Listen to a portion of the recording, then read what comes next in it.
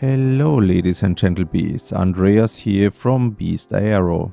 Today just a very short update because I need to leave in about an hour, but I didn't want to keep you waiting for too long. All sections of the forward fuselage are already cut and here you can see them loosely stacked together. Uh, they are not yet aligned in this picture and also not uh, glued together yet. After fine alignment and gluing them together, the accuracy was already about 1 millimeter. For our imperial friends, this is approximately a 25th of an inch or the tip of a pencil.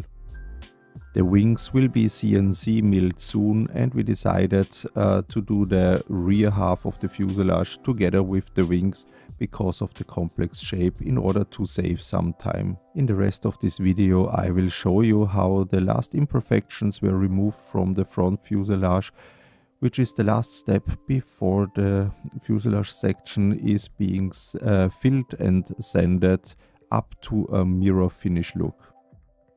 At this point we will then finally produce some molds from the plug and use these molds in order to make the carbon parts.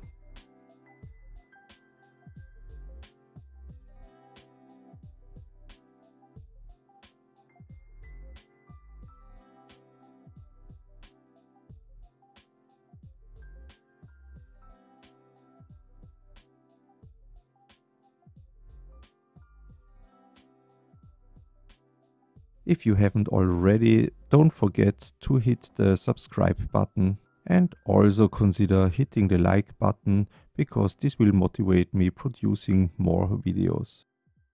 Okay, so that's it for today and see you again in our next status update video.